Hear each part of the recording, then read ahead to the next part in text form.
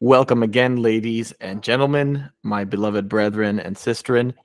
I want to say to the Tewahido Bible study because it will be re-released there as well. But you know, the bigger podcast, the philosophy of art and science, which is uh, more everything under the sun in classic Ecclesiastes fashion. But you know the deal. If you support this program, you can join the YouTube channel directly, or you can go to patreon.com slash aksum or aksum.substack.com.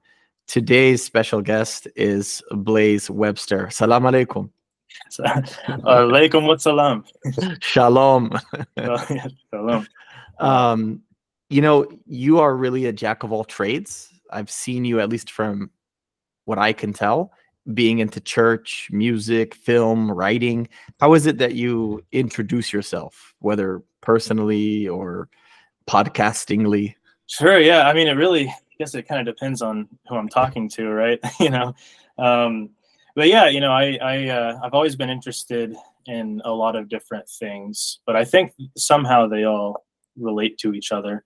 Um, but yeah, very, very interested in art, film for sure, music. I'm, I'm a musician. And then I'm also really into history and I'm into culture and I'm into religion and language and all that stuff. It just, just works together. So it, it's kind of like I have one, one interest that has many facets, but it all, it all. I like that. Yeah. Many parts of Game of Thrones were inappropriate. Well, one of the things that I mm-hmm. liked from a religion point of view is that they kind of they took religion as a thing seriously and they examined all the facets of it and they had a kind of large overplay between what they called the old gods and the new gods of the continent and the world that they're in but particularly there was this one god called the many-faced god which was an aka for death and um, that was that was kind of his shtick is that he had many different manifestations but it was the same um, deity or thing going on. I, I, like to think that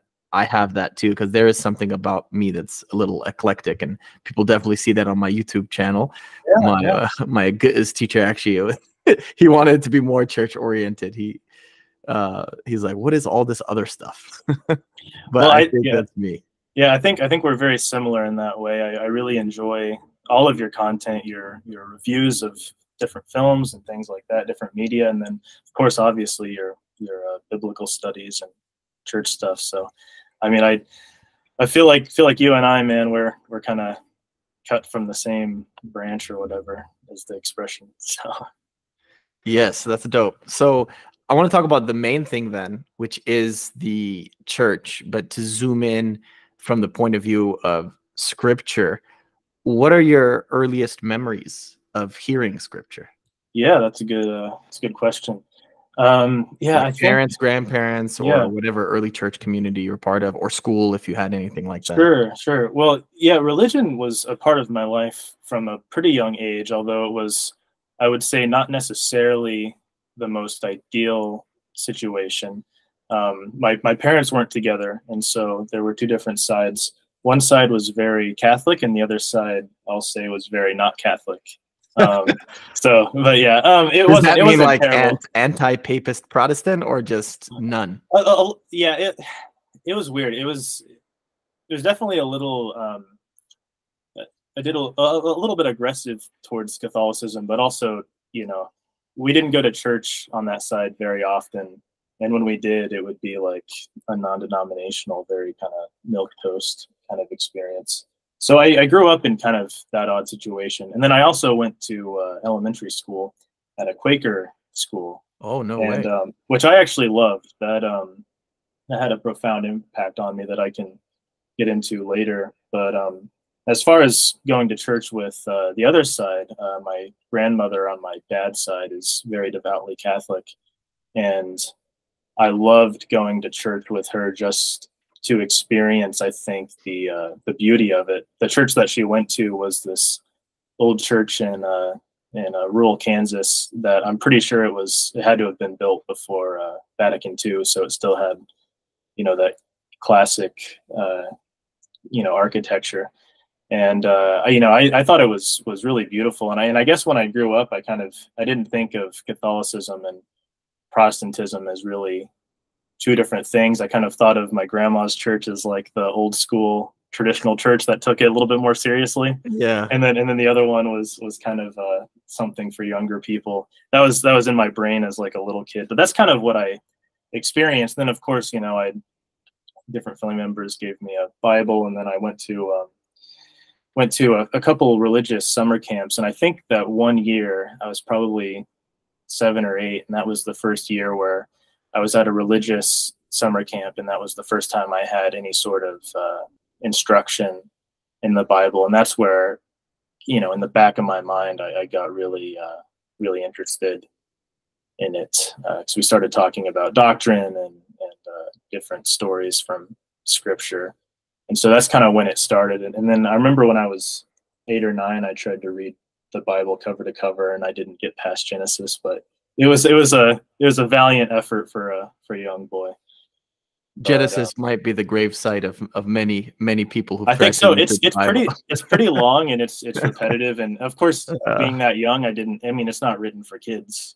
You know, yeah. by any stretch of the imagination. Le Leviticus might have taken more souls, but I think yeah. Genesis is up there. It's funny you said a number of things there that I relate to. First, yeah. the non-biblical examples I can give you is um, Nipsey Hussle, whose funeral and funerary rite I got to participate in at the Eritrean Orthodox Tewahedo Church one of the fascinating things I got to learn about him is because his mother is into some strange new age um, philosophies, if you want to call them religion or religion or spirituality. His father's a nominal Orthodox. He's really a nominal Orthodox. But I found out shortly after his uh, being killed uh, on that block he was famous on on Slauson and Crenshaw, his grandmother was a cradle black Catholic, part of these oh. uh, Creole people that are some of the founding black people of Los Angeles. And the founding priest of Los Angeles, was also one of the founders of hip hop, Father Amde Hamilton, he did a nice poem. I had a couple lost recordings with him that should have made it to my channel, but didn't because of technology issues. Uh. But he, uh, before he converted to Ethiopian Orthodoxy, um, Father Amde Hamilton of the Watts Prophets was uh, raised by a, a black Catholic uh, grandmother. Again, Creole. He, and he told me actually his grandmother didn't even speak English, just spoke Creole. Whereas wow. Nipsey's grandmother, a little, you know, uh, got to think it's a little generational gap. Uh, Father Amde's in his 80s, he's still alive. Nipsey was would have been in his 30s or, or maybe early 40s if he's still alive. So their respective grandparents are going to be of different generations. The biblical example, obviously, is Lois and Eunice for Saint Timothy, who's later the bishop of Ephesus. And of mm-hmm. course, we have our beloved Ephesus school that we'll talk about uh, shortly soon. And my own grandmother has played a, a, huge role in my life. So I, I love hearing that from you and and hearing all of these um, these different examples. The nudge against the historic churches like the Catholic Church and the Orthodox Church is that they know Scripture less. I know you said you attended it less in the other non-denominational Protestant. But was there, besides this old young dynamic, which I understand, very different than the streets of South LA, I'll tell you, where everyone asks you, Are you Christian or are you Catholic? Which is a, a question that bugs me. I've heard that, yeah. Yeah. But but it, was there a noticeable difference at all, or you're you too young to notice in like was there a scripture emphasis more or less in one of those traditions? Yeah, I don't think I really noticed it as a little kid because I, I, guess because I experienced both. Uh, but when I was growing up, you know, I never really thought of going to Catholic mass as being any less centered around the Bible because I mean they, they did a very very similar thing that they do in Orthodox churches where they do the procession, the entrance with the with the gospel book. And um, I don't know, I, that that seemed, you know, it, it, it seemed like the Bible was was front and center. So I yeah, I didn't really think about it in those terms. And especially being that young, I didn't know, you know, anything about doctrine or dogma um, you know that that kind of thing came later when I would ask like pastors about it, and you know I would get the whole spiel about the uh, Reformation and things like that. But yeah, as a, as a young kid, I, I don't think I really noticed a substantial difference. It was an aesthetic difference, I think. Which again, it's it's kind of that that purity of a child's brain, I think, that you don't you don't necessarily overanalyze. You just kind of take in what's in front of you. Um, but yeah, I didn't didn't notice that at, at the time. Well, yeah, that's good to hear that you weren't exposed to these endless arguments, which are still going on, by the way, on the internet. I, have been engaged in sometimes contentious or controversial talks online, but you know, the big thing I picked up from Father Paul Nadim Tarazi, and I've written about it in my own words, is to not debate people, yeah. but to teach those with ears that hear. And uh, that's it, and to do so tirelessly. So um, speaking of them, and since we we mentioned it, I wonder then if you could talk about what drew you to the Ephesus School Network, and then uh, perhaps you know Orthodox Christianity writ large. I mean, it doesn't seem like a huge leap from Catholicism, uh, but there is a question of why, because some people are comfortable where they are. Yeah, it's uh, so that kind of gets into a, a, little bit more of my background too. So I was never baptized into anything. Oh, so, so I, I, was I was never baptized Catholic. I, I know my um my Catholic grandmother obviously she she wanted me to be, but again, you know, there was disagreements between the families, and that's again, it's understandable. Uh, so I I never belonged really to a church. I would I would go occasionally because again, my the grew up with my mom, and and she didn't really go all that much, and and then when I did, it was with other family or whatever. And then when I went with my grandma on my dad's side, it was just whenever I was around her. So, um, so I was never baptized, and uh, I actually, when I was a teenager, I fell out of religion uh, because basically what I saw online was exactly what you described: just instant fighting and vitriol, and uh, that was when I started learning how to think critically. And I guess, you know, around 2012, your exposure to Christianity is, you know, it's it's very stock. It's it's kind of the Ken Ham, you know, Ray Comfort type, you know. So that that definitely turned me off uh, around around that time when I was a teenager, and I became a bit of a new atheist for a while. Um, but very soon, kind of Sam Harris or yeah, yeah, um, who, who, was that? Yeah, I liked I, I liked uh, Sam Harris. I, I, I think I liked um, Bill Maher. It, it's it's it's funny now to to say because I I definitely disagree with this now, but I, I definitely liked uh, Richard Dawkins for a while. Mm-hmm. Well, you see what he said of late, haven't you? I know. He's I know, now yeah. a, a cultural, a cultural Christian. Yeah, that's because he's afraid of the rise of Islam. It's yeah, it's a I have a lot of things I could say about that, but uh, but, but anyways, you know, so I, I, went down that rabbit hole, and then um, then it it really wasn't until I got into college fully that I uh, I went to another Quaker school, but it was a university this time, and so I, I was kind of forced to take religion classes. But I was confronted with the uh, person of Jesus, who I was mm-hmm. uh, reintroduced to, and I fell in love with the teaching all over again uh, but that leap to believing in, in God again, that took a little bit of time. And that's kind of where orthodoxy comes in for me. Yeah, that's actually very similar to me in that yeah. I, I went to a Lutheran middle school. And so that's one of the more high churches within Protestantism, but obviously lower than Catholicism and Orthodoxy of the different stripes. And then I went to a Church of Christ affiliation, which is from the revival 1800s movements from uh, Alexander uh, Campbell, which are non-denominational products. As they say they say their church started in 33 ad mm-hmm. yeah. Uh, i mean everybody does right? Well I, I, I, mean i mean have, have you heard of the the baptist like trail of tears? No tell me thing? about that. I mean it's uh, just very briefly it's um it's not held by like all baptists but there there is a, a line in in uh, kind of baptist lore that um the baptist church started at the beginning of christianity and they were persecuted by the Catholic Church all throughout history. You know, and it's it's it's, it's this uh, it's this unique line that's not connected with Protestantism or anything like that. Like it's um, obviously obviously wild. You know, like their examples are people like the um, the uh, Sabellians. You know, and like different. Different. Uh, different heretical groups that you know clearly yeah. they haven't really read much about. I think they're non-Trinitarian. we had we had a Sabellian prime minister of Ethiopia Really? Uh, one prime minister ago. Yeah, it was the first non-orthodox, even culturally leader. Now we're on our second, who's a part of the prosperity gospel. So wow, wow, I didn't know that, but yeah. So were you exposed to then something like the early church or patristics or something yeah. in yeah, at so, the Quaker University? mhm, yeah, well, so not necessarily in classes. I did have a Christian history class, but I was already getting into it. But anyway, so I, I was into Jesus again, Mhm. um, and then so the next kind of option, again, like I, I didn't know if I believed in God, but like I, I wanted to go to a church just to just to try it out.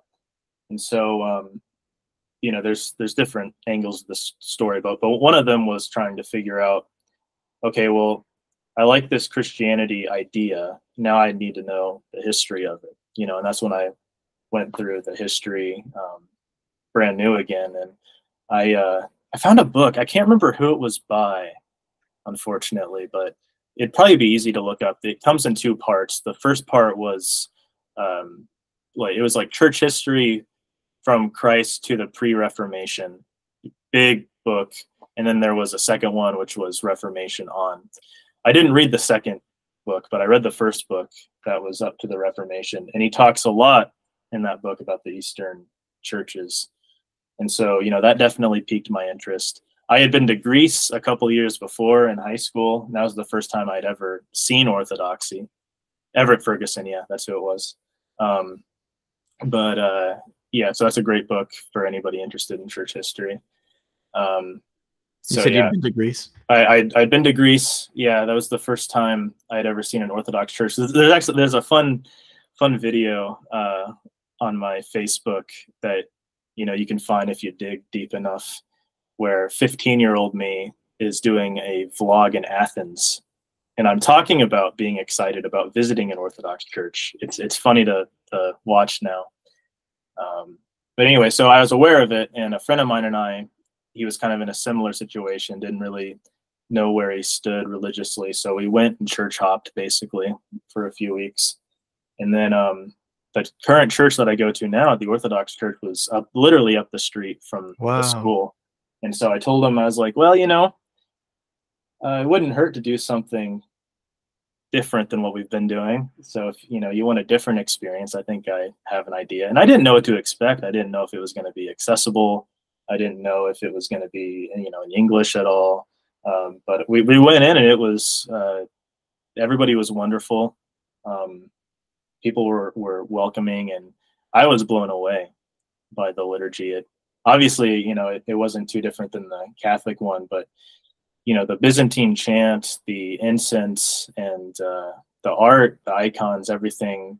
I, i'd never seen an orthodox liturgy. I'd been in a church but i'd never seen a liturgy. And Yeah, big difference. i was transfixed and then you know i met father aaron warwick um, and uh, he gave me his number and he said you know if you have any questions let's go get coffee or something. And i took him up on that and uh, you know became a catechumen and and the rest kind of fell into place Yeah, that's so fascinating. And I know about him, about Father Aaron Warwick, and that's St. Mary's Orthodox Church, right? In Yeah. Wichita, Kansas. Um, I know about him because of the Ephesus School Network. I've been on phone calls and Zoom calls with him. I've never met him in person, actually. And so it, it's funny. So w- at the time you met him, had he started his podcast yet? Teach Me Thy Statutes? No, no. So I, I met him sometime in uh, 2017 or 2018, and he didn't start that until 2019, right before the pandemic, basically. And so I I was going kind of uh, off and on for a while when he started that, and and that was that was my my entryway really into uh, the Ephesus school. That's how I found out about it. So I loved his podcast, obviously, and then as a catechumen, it was invaluable to it was it was weird. It was like providential. It was you know the priest starts a podcast where he talks about the Bible and, and how it relates to what we do in church. Like right when I start catechesis, it was perfect. Um, so you know, like I click on the Ephesus school thing, and that's where I found the Bible's literature, and I found your podcast because it was around the Tewahido Bible study, which I thought was cool. You know, because I I had known about Ethiopian Orthodoxy just tangentially, but I didn't know anything about it. So I, I remember listening to that uh, and and thinking that was cool that that was there. Um, but yeah, and and uh, so you know, I I would ask Father Aaron all sorts of questions, but it was all you know, it was all scripture related, and um, I don't know. I like to joke around that I asked him so many questions that he got annoyed and and he just said, "Look into Father Paul Tarazi." Yeah. So, which is which is which is interesting. Uh, so it's, it's interesting advice to give to a to a catechumen, but I, I think he he saw that it would be up my alley. Um, so I uh, I read the Rise of Scripture as as, as a catechumen. Wow, that was your first introduction. That was my first, which I mean, wow, that's his magnum opus. It is, it is, and um, you know, I didn't really understand it at the time, uh, but I there was a lot in there to chew on, and uh, you know, I, have read it many times since, and it's you know, it's it's one of the greatest books on Scripture ever written, obviously, but um, but yeah, Oh, oh, there it have, is. Yeah, I have my uh, my copy right here. Yeah, yeah, that's great. Yeah, yeah. I I actually originally listened back in 2016 to the audio lectures yeah. that were gathered together to become that book. And so originally it was a bunch of these audio lectures put together uh, that Father Mark Boulos had released, and then I think that became the print book and then I think they made an audio book after that, which was like a refined version. So I, I listened to that like early, early cut version. Yeah, no, yeah, that's good. Um, but yeah, I, uh, I, I read that, and you know, there was a lot of things that that blew my mind. But you know, I think um, the thing that it got me interested in then was the uh, original languages, mm-hmm. and so um, you know, I had a couple of conversations with uh, Father Aaron about it, and uh, you know, he pointed me to some other, some of Father Paul's other audio stuff, and um, and then that was around the time too that he started doing his podcast, the Tarazi Tuesdays, um, and then it was from that that I just, you know, I'd, I'd write down all these notes, and so like, I didn't really plan on it, but I was learning Hebrew yeah listening to his just podcast. listening yeah see, see, i have to pause you there because i have recommended the Bible is literature and Tarazi Tuesdays, especially to, I want to say, scores of people. And of all the people I've ever really recommended it to, about three to four of them got back to me and said they love it and they're hooked. And then the overwhelming majority, they're like, I didn't get it. And then they just yeah. never listen again. So there's there's something in you that was patient enough to hear that. So I'm I'm wondering because it, it is so language heavy Mm-hmm. Um, and I, I want to get to that. I have a funny quote about that that will get us into your language stuff. But I'm wondering, did you have any language background before? Did you learn French and Spanish growing up? Did you hate either language? Yeah, that's that's the weird thing. I feel like I've always been interested in languages. Like I have a cousin who's a polyglot, and I was always jealous of that.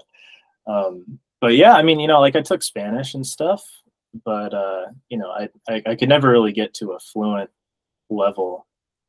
But um, so you know, I never really thought that learning the biblical languages would be that accessible to me.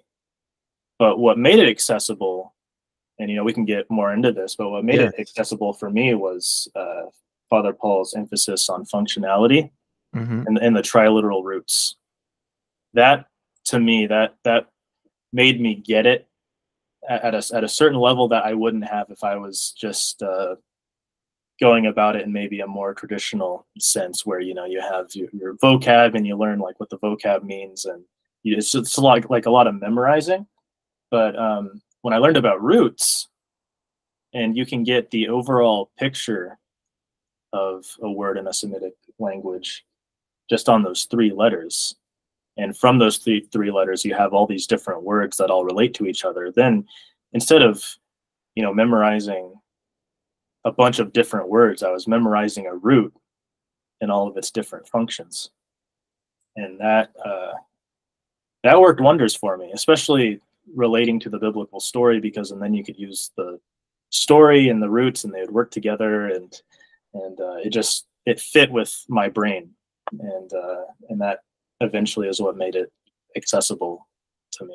Yeah, that's beautiful, and thank you for explaining the triliteral, uh, the trilateral consonantal roots. Mm-hmm. In addition to that, you mentioned functionality. Obviously, I know what you're saying, but for the sake of our audience, could sure. you talk about that? Because off camera, I told you also about mm-hmm. my own essentialism that I had picked up in studying the classics of Western philosophy. Obviously, Socrates, Plato, Aristotle, but also the the great thinkers in medieval Europe and to the to the modern day um, things like William Lane Craig drawing on the cosmological argument from Islamic thought, which is influenced by Plato, people like Thomas Aquinas and Augustine and, and, and Thomas Hobbes and all the thinkers you can imagine. I, I, was thoroughly westernized in my undergraduate studies and studying my own Semitic languages of Ge'ez and Amharic and then hearing from uh, the Hebrew and sometimes the Arabic too that you pick up listening to the Bible as literature and Tarazi Tuesdays helped me kind of get rid of some of my essentialism. But what is this functionality you speak of? Because people yeah. talk about like functional fitness, you know, which is kind of related. Sure, sure. and, yeah, functionality. It's it's a simple concept, but I find that it can be difficult to explain. Um, you know, especially somebody who hasn't uh, hasn't come across it before. But uh, what I would say is, I, I think it was explained best actually by our friend Andrea Backus, on um, on her. Uh, she she did like a four part uh, four part uh, series on functionality in scripture, but basically Vexed, Vexed podcast Vexed, on, on Vexed, yes, on on the Vexed podcast. Thank you. Um, yeah, where she used examples where Hebrew doesn't have abstractions in the language. So, um, you know, the, the word af means nose, but it also means anger because when somebody's angry, their their nose flares. so it's it's examples like that, but the language is is filled with those types of examples. Um, you know, and then in, there's there's little interesting things. So you've you know you've got um, you've got uh, in, in, in Arabic the root uh, kataba, which is KTB. It's the same as in, in Hebrew. Um, and as an Amharic. Yeah, yeah, yeah, exactly. Yeah, and and then an office is a maktab. Nice. You, you, you add to nominalize it. Father Paul talks about this to, to nominalize it. You add essentially an M or the yeah. uh, the, the, letter mem in, in, Semitic languages, but you add it to the front of the word, and uh, and, and it, it gives it like a place basically. That's know? beautiful. Um, madrasa comes from uh, uh, darasa, which means to study. You know, DRS and in a, in a madrasa in, in Arabic is a, a school, you know. So it things like that, you know, that to me that's functionality because it, yes. it's not it, it's not a, an abstract. Um, one might say like a platonic in terms of thinking of the ideals. It's not an abstract concept that's outside of reality. You know, it's a it's a very uh, very down to earth. Uh, it, it is it is how it functions and that's what it describes in the language. And when I thought about it that way, then I felt like I was really adopting the language on its own terms and not just translating that concept into English. You know, because for us, anger is an idea. Mm-hmm. It's not it's not a physical thing necessarily inherently, but in Semitic languages it is. That's right. It's it's abstract versus these concrete things we're pointing to. That KTB root in in Ge'ez, it's uh, Kitab is a book, but it's particularly the one that we carry our psalter in. It's like a knapsack oh. we carry our psalter in usually because we have another musaf, which is like writing or, or book. Maybe it's scroll originally, and we start using it as as a book, and it's obviously the same as the Hebrew ketub, ketubim, that they changed to the V, the ketuvim, the third yeah, section, the miscellaneous writings of the Hebrew Bible. That uh, Darasa, uh, DRS you spoke of is our Derasi is an author. Darasa yeah, is, yeah, is someone who, like you said, through studying has has produced some composition or another. So yeah, it's it's amazing. So the quote I have, and it's funny, I heard it on a jujitsu podcast just earlier this week, a, a judo and jujitsu podcast, and they they actually made two biblical references. The one is my favorite one. It's that uh, Jacob doing submission grappling or wrestling uh-huh, with the yeah, angel, yeah. which represents God. But the second one was from a Hebrew Bible poet. I think he was a 20th century figure, Hayim Nahman Bialik and he says, you may have heard this: reading the Bible in translation is like kissing your new bride through a veil. And yeah, that particularly stuck with me because you've you've looked on your medium, which is good into your writing, at the Greek word for veil. Mm-hmm. Yeah, and and Second so, Corinthians, yeah. So I, yeah. I am wondering if you can. Uh, we we jumped into it a bit, but maybe we could uh, categorize this by the by the various languages, and and that will give us some structure. Um, how did you approach the Greek language and what what were you thinking in, in trying to study it? So Hebrew, you kind of casually took notes from the podcast. Yeah. What, where did Greek come in, in in the liturgy? I don't know exactly what yeah, yeah. So your parish yeah. was in. So I'm I'm Antiochian, uh, mm-hmm. which which again, so the Antiochians, as far as Eastern Orthodoxy goes, is like the place to be if you want to know the Semitic side and the Greek side. You know, like it's it's very similar, I think, to the uh, to the Coptic Orthodox Church because they do have Greek sometimes in the liturgy. Like when I went to I went to one in, in uh, the Dallas area not too long ago, and um, anyway, so there's Arabic and Greek and Coptic yeah, and all sorts of Hellenized, stuff going on. Alexandria. Yeah, exactly. I think Father Paul calls it the most Hellenized of all yeah. the cities. Perhaps. Um, but uh, so so the the uh, Greek Orthodox Patriarchate of Antioch very similar. You know, it's got it's got that Greek liturgical tradition. Obviously, it comes from Constantinople but the local people they speak Arabic and Aramaic, and um, and then you know since the uh, 18th and 19th centuries at least the uh, the Antiochian Orthodox you know is customary to to just start doing it in the vernacular, which for them was Arabic. So um, when these immigrant communities came over, they brought that with them, and and so you know now obviously the liturgy is mostly in English, but there's still parts of the liturgy that we have in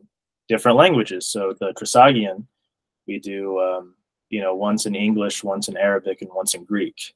Mm-hmm. Which uh, which I love, you know. You're, you're getting all the all the sides. Hagios, Hagios, Hagios, Kadush, Kadush, Kadush. Exactly, like exactly. Yeah, yeah, um, exactly. Uh, so uh, so anyway, yeah, kind of relating it back. I was hearing a lot of Greek in in the liturgy, but yeah, you know, I would hear like uh, Greek from uh, Father Aaron's podcast. I'd hear it from the Bible's Literature podcast. But actually, when I was in college, I took a, a, a New Testament Greek class. There you go. Wow. So so so this was um, again, it, it's all related because I was into Father Paul at this point. Um, I was listening to the podcast, so I took a Greek class, and uh, you know it was a good class, uh, but definitely my approach to Greek was different. It was more at the time, at least, a, a traditional way of of studying the language um, and so that was helpful for its for its own reasons. But even even Greek, you know, it, it has because of how it's used in the New Testament, it, it retains some of those um, Semiticisms, um, which can be uh, interesting, especially people's names. You know, uh, like like like Pavlos. You know, it the name's Latin, but it, it means the little one, and that has mm-hmm. significance to his story. And, and uh, you know, there, there were things there were things like that. But anyways, I I learned Greek originally in in school, and then I actually took lessons from Father Paul. He was doing a Zoom class with a bunch of uh, bunch of different people, um, and so I I started taking uh, taking those from him as well. So again, it's it's difficult being um, wanting to learn the biblical languages is is difficult because there's so many you know, I mean, it's you got to know Greek and you got to know Hebrew, and I think really to, to know Hebrew well, it's it's it's not just Hebrew. It really helps to look at other Semitic languages, um, and then there's also Aramaic, you know, in, in the Old Testament. Uh, you know, it'd be a lot easier if we just had one language, you know, like Babel. yeah, but um, but but no, it's it's fun though. I, I love it, and um, and it, it definitely helped to retain the Greek going to an Orthodox church. And I, I have uh, a friend actually who's uh, from Chios, the island in, in, Greece. So he's obviously a native Greek speaker. So we've had a bunch of conversations about it. Yeah, and um, and the modern being different than the the Koine or the older the older Greek uh, yeah. that you'd be studying. I, am wondering, um, being an Indo-European language, did did Greek come to you more easy, easily, having studied Spanish and English, which are at least at face value, even even though Father Paul says uh, English is a barbarian Germanic tongue, as the Greeks and Latins yeah. would have looked at it in in their time in the in the classical period in, in antiquity. Um, and, and he mentioned, I think, in one of his podcast episodes that even the German producers of the Netflix show Barbarians refer to Germanic as a barbarian tongue. So was but but they're all Indo-European in, in source. Sure. Yeah. Was that was that easier to pick up? Um, yes and no. Uh, yeah, I don't know if it was easier or harder necessarily. Like I, I think what made what made Hebrew a little bit easier for me, not that it's easy, but I, I, picked it up faster because I was learning it in a fun way. I was learning it, you know, mm-hmm. from from the podcast and and uh, from uh, the context and the stories and things like that. So that that was a really unique way to learn Greek. You know, it was classroom Books, out of the textbook. Yeah. But you know, I, I would say uh, learning Spanish in uh, in high school helped uh, because uh, the the way the verbs conjugate is very similar. Um, but what Greek Greek really kicked me in the rear actually, and, and I think this is true with a lot of people who uh, haven't learned languages with uh, case endings because English doesn't have that, neither does Spanish. But Greek, like German and Russian, I believe too, has uh, case endings. So you know you got like the nominative, the genitive, the accusative, you know, uh, and the dative, and uh, that that was kind of difficult because um, you know it, basically supplies in, in, English when we say like you know it it, it supplies grammatically the uh, direct object and the subject and the indirect object, but it's it's part of the ending of the uh, the word. So you have the the word uh, word would be logos. O logos would be the nominative. If you wanted to say of the word, it would be to logu. If you wanted to say to the word, it would be to logo. And, and then if you wanted to use it as the uh, the direct object, it would be ton logon. That'd be the, the accusative. So, uh, so this is the thing that um, Jordan Peterson, and he's not alone.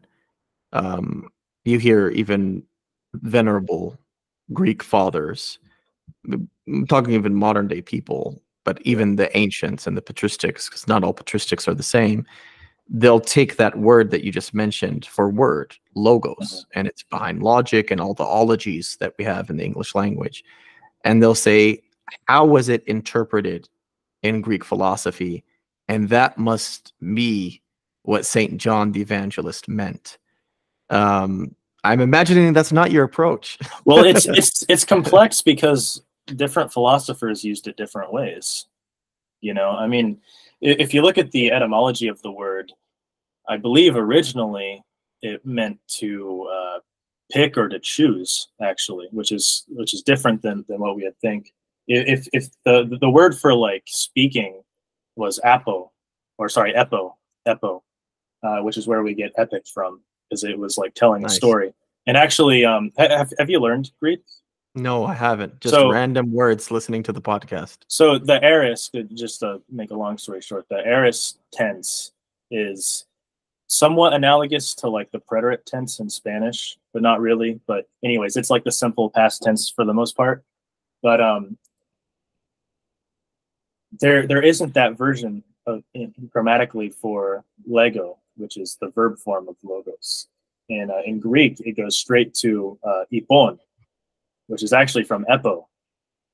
Uh, so it's it's it's all convoluted. So it, it seems originally that uh, lego didn't necessarily mean to speak. It, it kind of brought it, it, it got that meaning uh, over time.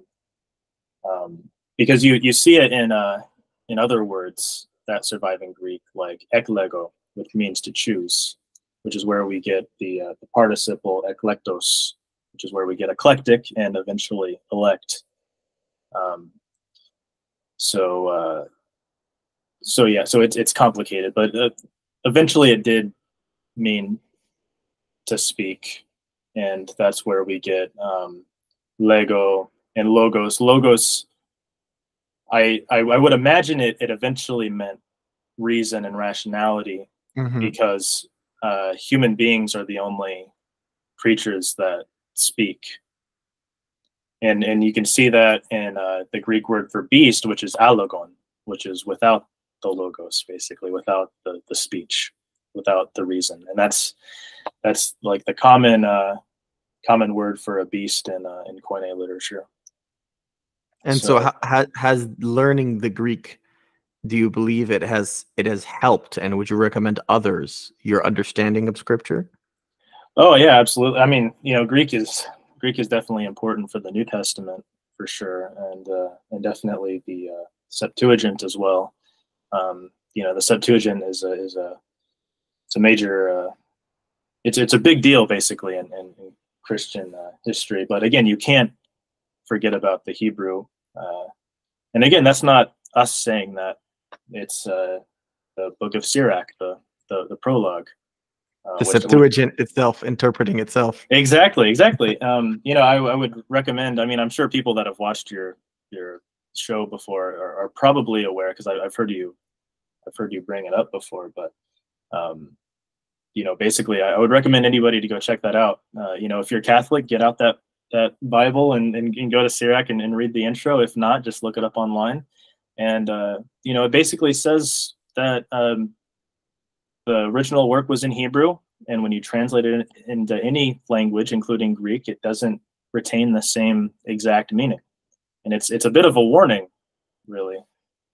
Um, so uh, so you need the whole package, really, and that's um, that's something that I'm very grateful that Father Paul has uh, has given all of us his uh, his students. You know. That's right. So that takes us back to to Hebrew. How how has learning Hebrew helped out your your study of scripture and and especially visualizing the consonants as our teachers yes. say? Yeah, I mean, there's there's just there's so much to go into and such a such a you know like like one one uh, interview. I mean, it's it's yeah. Again, because you're talking about the consonantal text, that's a whole other thing. Because when people learn Hebrew, they learn the vowels, and yeah, the language didn't have vowels, and it's a big it's a big thing. But um, yeah, I mean, it it definitely it paints your your takeaway from from Scripture. Definitely, I mean, you know, Father Paul used to joke around about the name Isaac and the name Jacob. Um, yes. You know, J- J- Jacob, especially, you know, Jacob it it uh, essentially means like the heel grabber. Mm-hmm. You know, and that's a technique in jujitsu. It's called it the is. heel heel hook. Yeah, it is. Yeah, I've I've heard you say that Israel is one who does judo with God. Yeah, that's a funny one. That's for yeah. That's the translation of Israel. Uh, yes, the, exactly. The, yeah, the contending, the wrestling, which is really submission grappling, is what he did. Is wrestle until someone says uncle, or in his case, uh, until they get the blessing. Yeah. Uh, but yeah, even Jacob, the heel hook is a it's a it's a literal technique that is it's pretty old too. Yes, yes, definitely. Um, but but anyway, so you know, like when you're just reading an English Bible and you just come across the name Jacob, it doesn't really mean much to you. It's just mm-hmm. the character.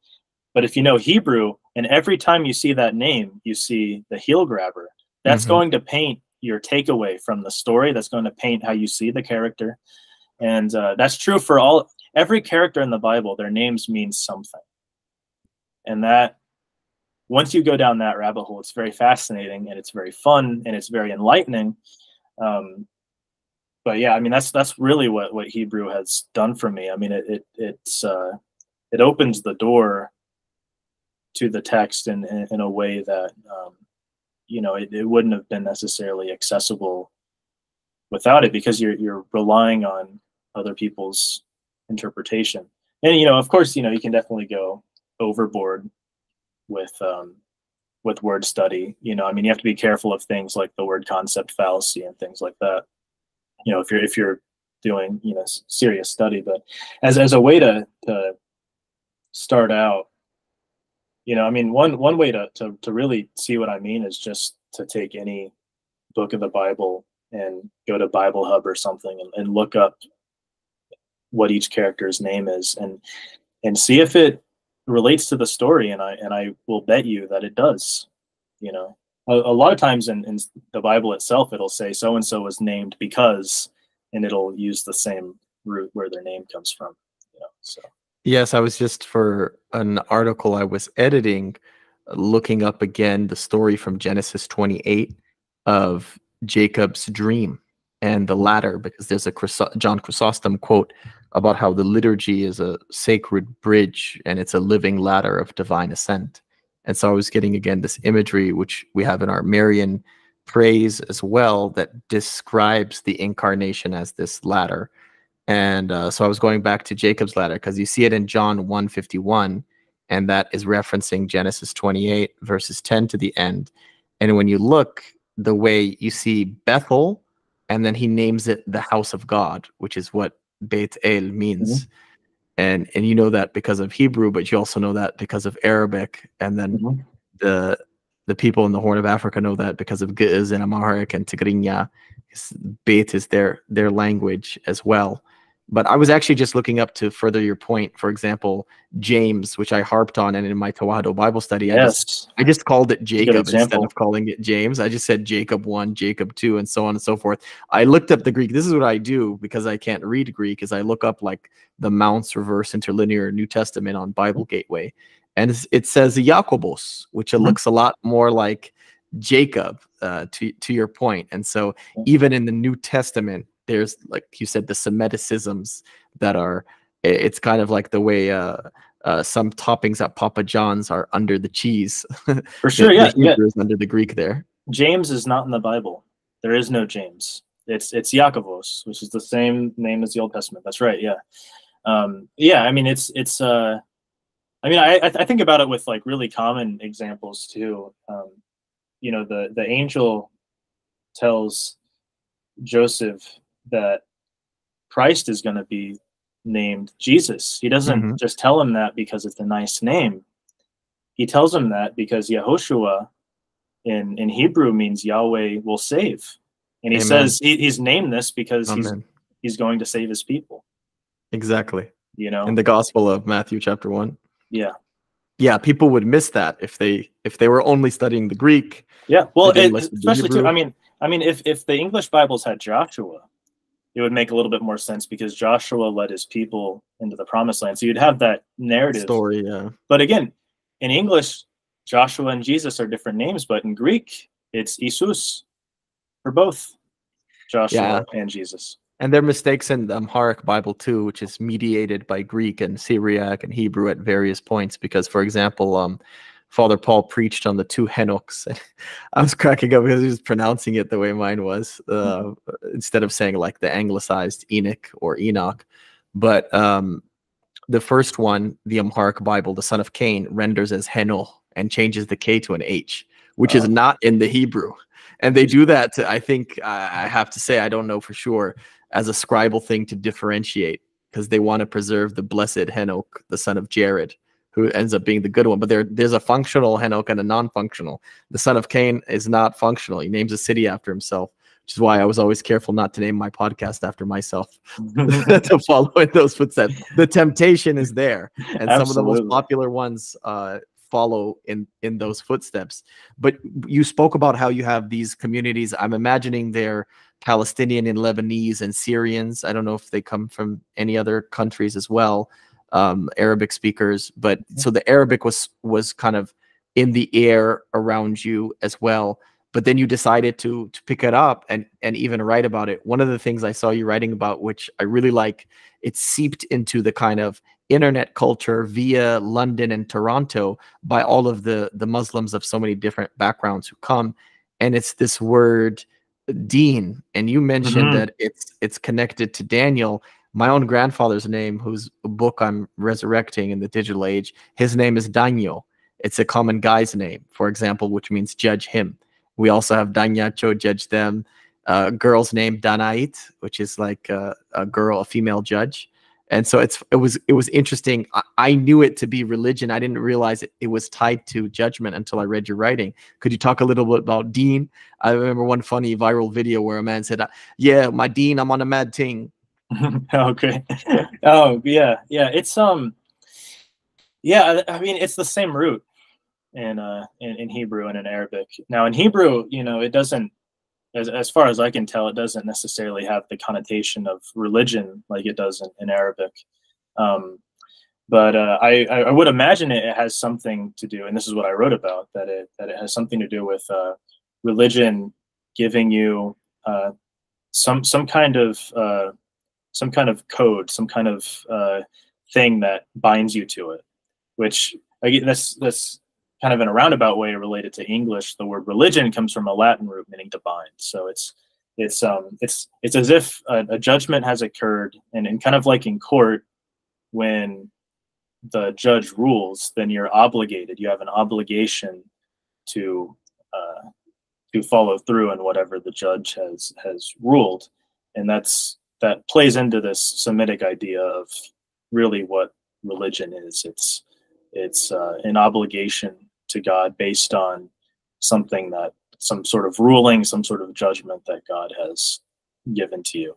And so that's that's how I that's how I see it. But I mean, you can see it in um, in uh, Arabic and in Hebrew, and in, in kind of ways that goes beyond just judgment. You can see it as kind of like administrative. So the the word in Arabic for city is Medina.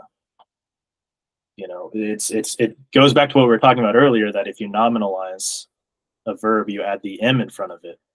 Well, the city Medina is that root dean with an m in front of it because it's it's it's the word for city. It's it's uh, like an administrative center. That's where the religion is. That's where the ruling elite is. That's where that's where all of that happens. You know, and and it's it's of course it's related to uh, the biblical uh, name Midian as well. It's it's related. So, um, yeah, that's that. No, that's, that's really basically good. it. Yeah. It's Yeah. it's really good because you remind me of two different Lukan passages as you're speaking. One is this obligation duty um, that the the real servant of God says that I, I have just an unworthy slave or bondservant who's doing his duty. The other is the way in which you pestered Father Aaron Warwick with questions. it's like uh, even if an unjust person is pestering you, then you're going to give them the kind of resources that you want. And how much more would God grant you of His Holy Ghost if you just pester Him all day and struggle with Him and, and contend with Him? Another amazing Arabic word that you went into is another Amharic cognate that we use. Maybe it's a loan word. I don't know. It's hard to tell sometimes. Sometimes there are loan words between the two, and sometimes they just have um, the same Proto-Semitic root. But it's it's mizan, which any Amharic speaker immediately Oh, be Yeah. The, the the scales. Yeah. Yeah. Mhm. Uh, Yeah. Yeah. Um, yeah, that, that one, yeah, I don't I don't know if I have a, a, lot to go into on that one, but it, it's it's very powerfully used in um in Surah 55 of the Quran, which I've also been looking into because again, it's it's a gold mine of Semitic roots, and it, it's interesting to see where it uh, aligns with with the Hebrew Bible, uh, just just on a linguistic level. Um, yes. but uh but yeah yeah it's um i don't I, I don't i don't know if it if it has a direct uh connection to hebrew because that can be tricky because the way that hebrew and uh arabic transliterates into each other can be kind of uh, misleading and, and it can be kind of tricky um partially because arabic has more letters than than hebrew. And so sometimes um, you know basically hebrew like a hebrew letter could be the parent letter of multiple arabic letters and so it'll usually be in one of those but it, it sometimes it's hard to tell which That's one fair. unless you do a bunch of uh, a bunch of uh, uh, work into it but yeah it's it's really powerful it's, it's it's powerful in that in that surah i was wondering if, if you could talk a little bit about that root since since it's Yeah. in, in um, as well we we use it for scales of justice but also for basic scales that you would find in the marketplace as well um Well, that's that's that's how it's used in that surah. in that yeah okay Yeah. so that yeah that's very similar um what i would say when you're speaking on the quran I- i've never given it a serious study and it deserves it but i i do pick up and I- i do listen to people who who make these explanations especially just from uh, more you know obviously um i don't respect it as much you know theologically but Sure, lingu- yeah. linguistically uh, i am interested in how these interplay like i think i mentioned this before but my wife was watching this show from Dubai, and this is, gets into the dialect uh, versus the kind of modern standard uh, versus the the Quranic might be closer to the modern standard but older. Um, they were speaking casually and they used the word manafik, and I, I, was like doing something else, and I turned around because in in my language, in Ge'ez, manafik means apostate or heretic. But so then I paused it. I had to rewind. I, I, was like, I wanted to make sure I heard it right. And then I looked it up. It was clear as crystal. And I found out that it was a loan word to Arabic, to the Quran from Ge'ez. Mm-hmm. But then, you know, it changes over time and in the dialect and the way that you were saying. So functionally for them and the way they were using it in this reality TV show is that it would mean hypocrite. And you could kind of see how hypocrite is related to heretic or apostate. It's a little um, uh, it's a little different. But then even the opening of the Quran, uh, in the name of God, the most uh, you know benevolent and merciful, you you often hear. What you miss, for example, in the English versus the Arabic, is that it's Bismillah Rahman Rahim. The mm-hmm. Araman and the Arahim is this RHM root, mm-hmm. which uh, dyslexically or not, they write right to left, we write left to right. For us, it's MHR, which is mercy bringing it back to biblical Aramaic, I have a cousin, for example, because we pick these biblical names, and her name is Ruhama, which is Aramaic, and it means the same thing. If you want benevolent or merciful, it's really it's really the the mercy, and I think it's the mercy that that comes um, on high. And on that Aramaic note, I think you spoke about this a little earlier, but I imagine originally, at some point, maybe there was always Greek in the Greek church of Antioch, but I I would assume that there because even the Georgians have some Aramaic. I've seen them do like the Lord's Prayer in Aramaic before. Do you know of anything of there being, especially with you being a music man, is is there anything of an Aramaic um, music tradition? Because and, and I'm just wondering how it yeah. shifts because one of the struggles of the Ethiopian church right now with sacred music is that a lot of the tones were toned in the Ge'ez language, and some people have done have had some success converting some things into Amharic, but even then it's a little clunky. To do it in English, people find that it's very clunky. But there are some people trying. I was a kind of pioneer, but I'm not a music man, and so it's a little silly on me. But people much more musically gifted have been have been trying more. I wonder when you hear the the Greek and the Arabic, whether you understand it fully or not, kind of with your music ear, was that at all a translation of the aramaic? And then how is that in, in english? Like is, is it off in english or mm. you know? Because some people say in, in, in, ethiopian churches we should just read things monotonely in english as opposed to trying to uh, use this sacred music. And then if you try to create your own tone it becomes a taboo because they're like who are you? You're not a saint. You can't just make up your own tones. Yeah that's an interesting question. Um, yeah, I don't. I mean, there there was.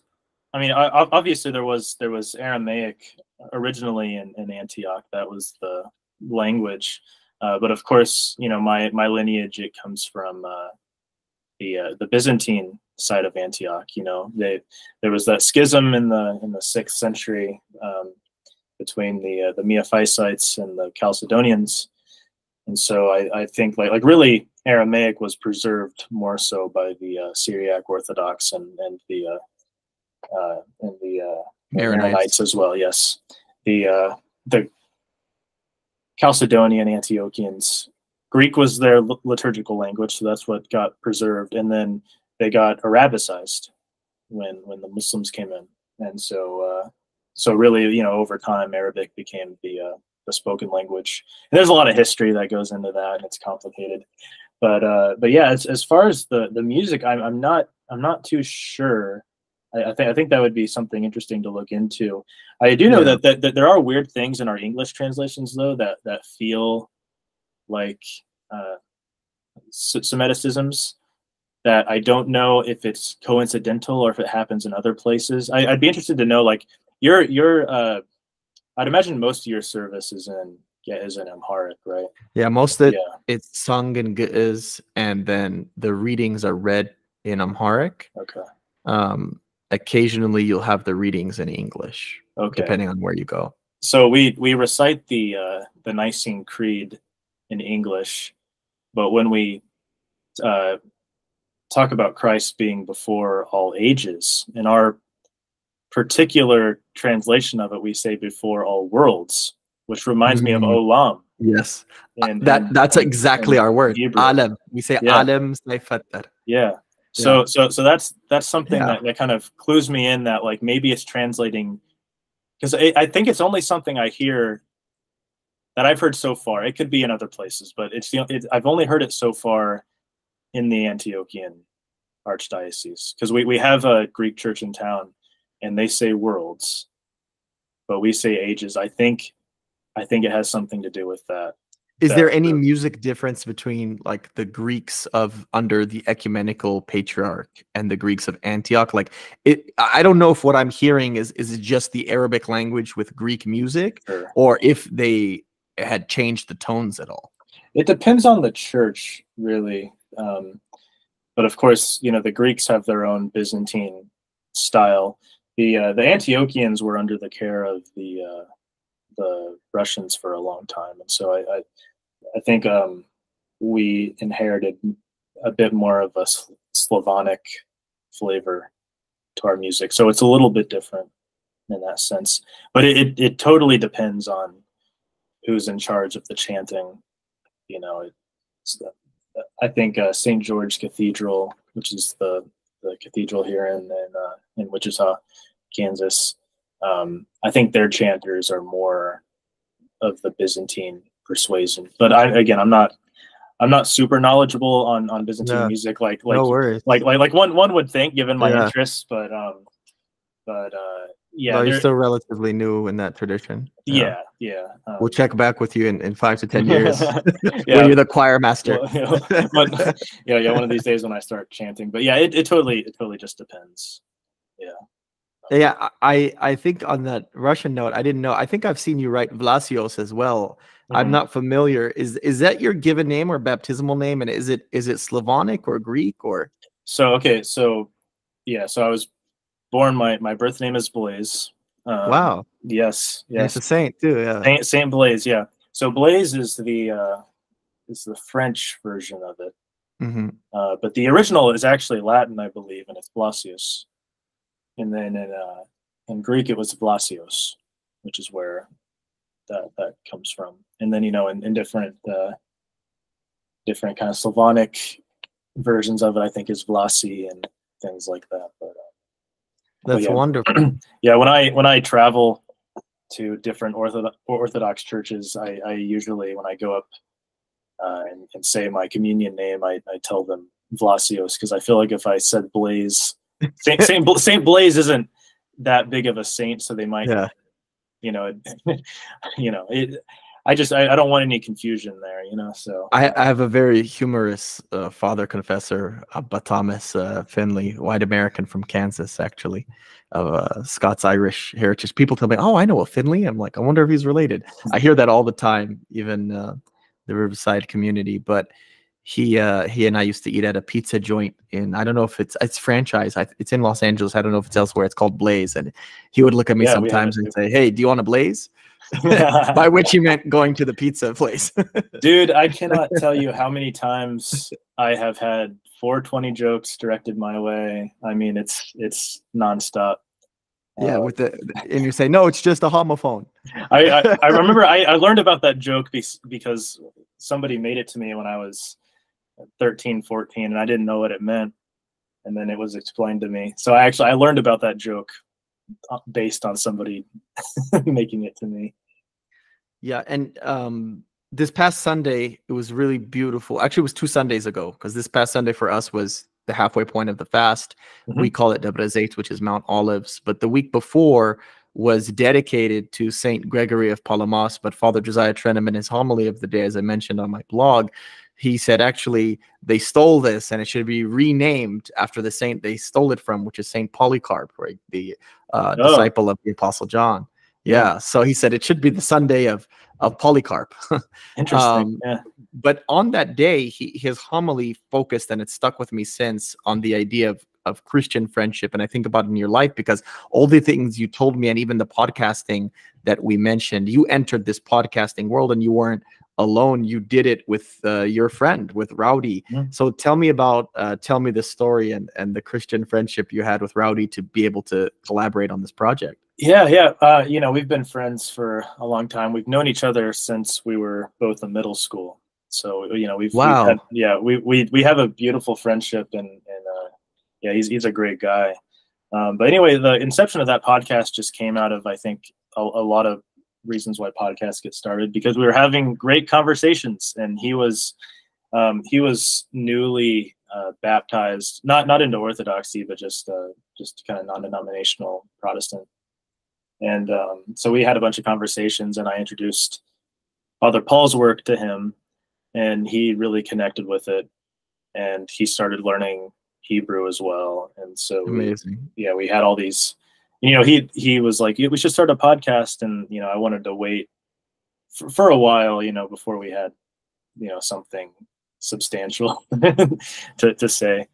Um, but yeah, like a year later, we figured, you know, we we uh, know enough at least to to handle, you know, a, a read through of Genesis, you know, and so that's that's what we uh, we ended up going for, and you know, it was very, you know, that, that was it was around the time that that Father Paul was doing his audio uh, podcast on uh, on Genesis, and so it was obviously very inspired by that. Um, but uh, you know, we, we, were also trying to do our own work too. We didn't want to just regurgitate everything, um, which is which is a good thing. It is good to regurgitate uh, good teaching, but you know, we we wanted to actually, uh, you know, research things ourselves, and and so it was it was basically a the the way I I branded it and the way that I presented it on the podcast was like, we're not experts and we're not trying to be experts. So take everything we say with a grain of salt.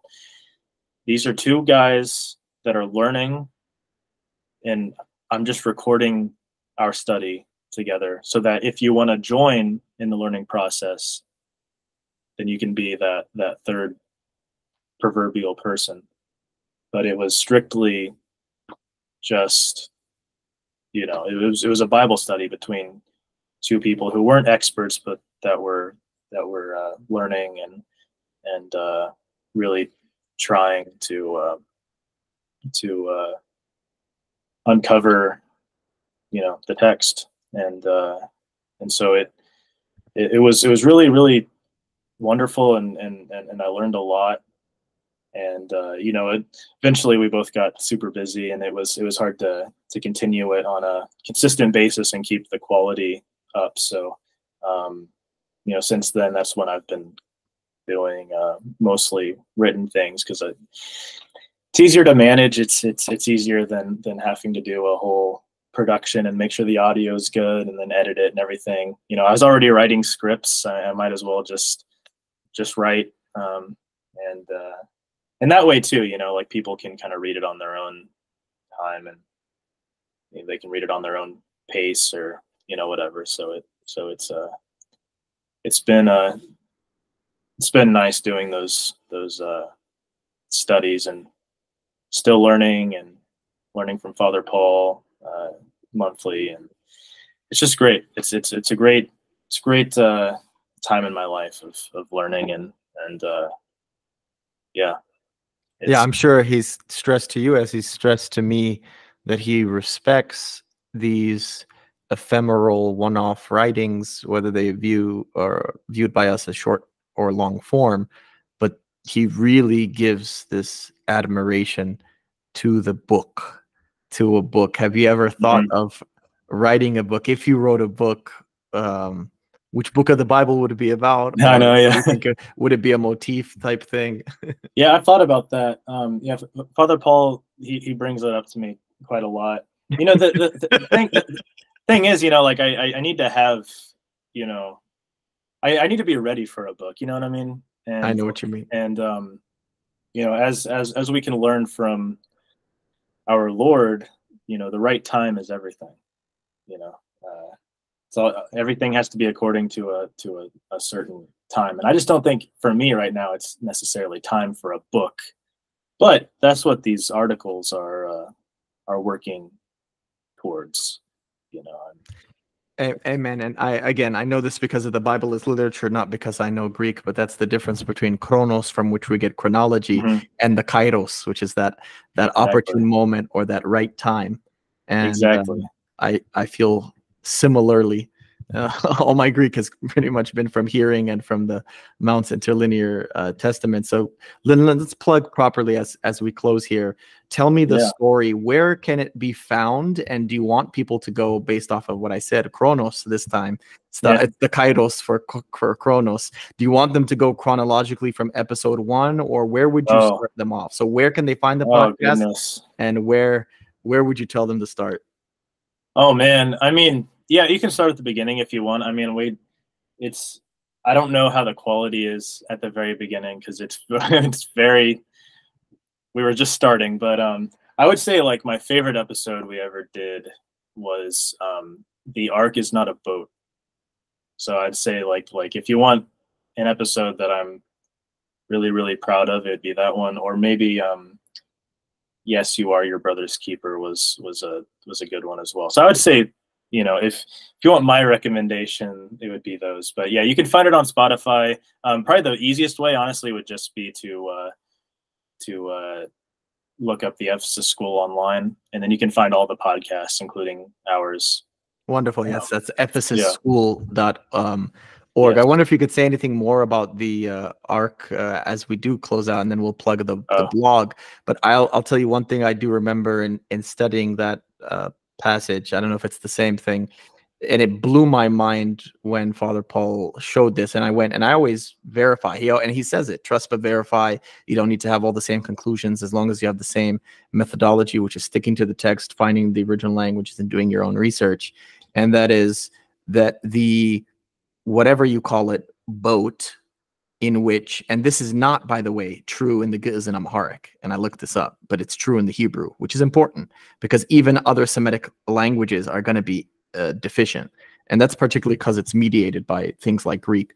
Um, maybe one day it'll be my duty to get something direct from Hebrew to Ge'ez and it'll make more sense. But do it, man. the boat that Moses is sent on mm-hmm. uh, to avoid uh, the infanticide of that time, which is obviously a parallel to the infanticide during the baby Jesus's time. That word, the Hebrew word for the boat that Moses is in, is the same Hebrew word as as yes. the ark that and what's, Noah what's, is in. What's misleading is that it's a different word than the Ark of the Covenant. Exactly, but it's, but it's the same word in, in English. Exactly, so confusing, and it's like that. That's an example where the English makes a connection between the two that isn't there and and so you have to be careful. But yeah, uh, yeah, th- that's a good point. And um, yeah, and in uh, the the Moses example, it's often translated as a basket, mm-hmm. um, which is which is uh, part of what that word seems to mean. So what Rowdy and I did, actually, I think he was the one that that really uh, came up with this idea, which which I really liked, and I I, I never heard it anywhere so again, like with everything, like don't don't just take this as gospel, but it, it's it's interesting that uh, it says in um in the passage that it was made out of gopher wood.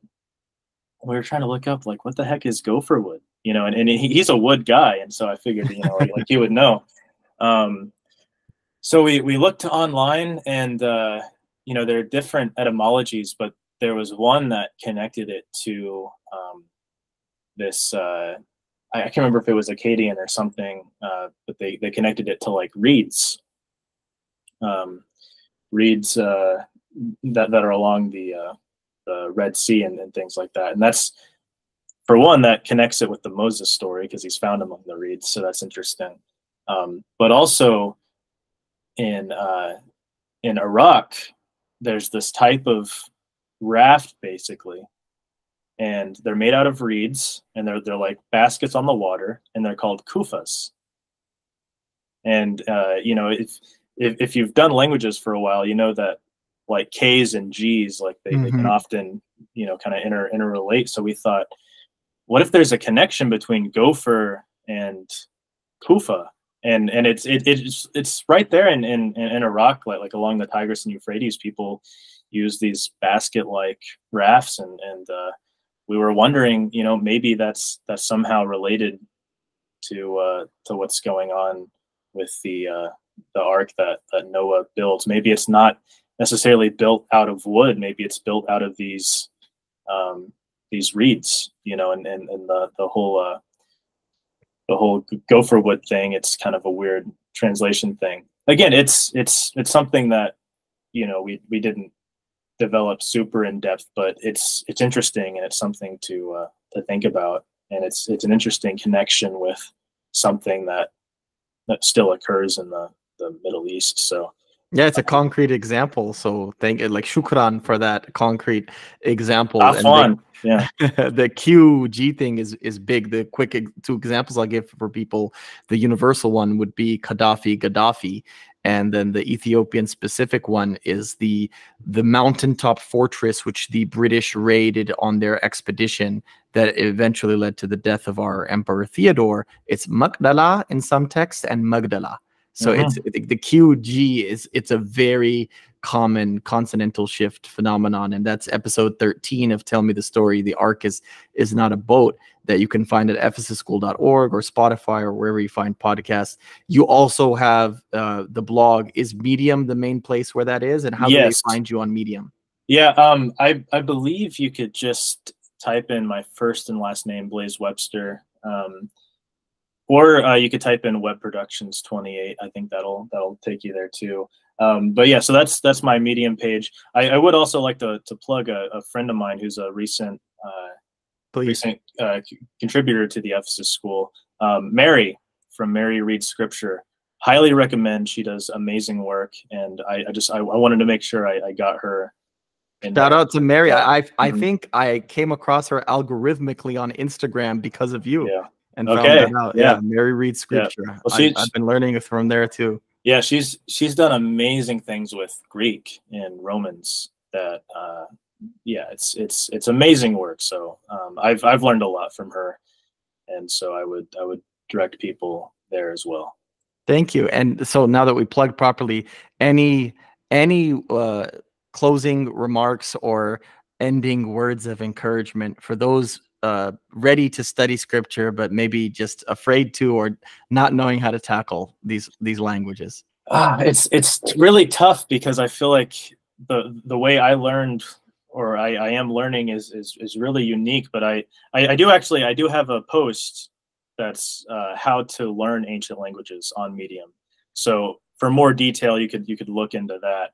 Um, and and I, I go through it step by step. But really, like and I think a lot of people will say this. I think the main thing is to find a text that you like and go straight to the text. Start learning, you know, even if it has to be word for word, just just start start interacting with the text as soon as you can because if you just start with the what's called the grammar translation method oftentimes people get burnt out. And if, if you have like an adhd brain like me like it, it's it's easy for that not to be very exciting. So um, so I, I would recommend just going straight straight to the text and then um, and then my, my post has more more detail that uh, that uh, I, I hope would be helpful to anybody wanting to get into this stuff. I, I very much recommend it though because it's as as you know it's it's very um, it's very rewarding and it's it's uh, especially the the stuff that that you do with with Ge'ez It's it's important because you're preserving something, and uh, I think the Semitic side of theological studies does not get enough representation. So it's it's it's great that that you're doing what you're doing. And uh, anyways, yeah, that's that's what I would say.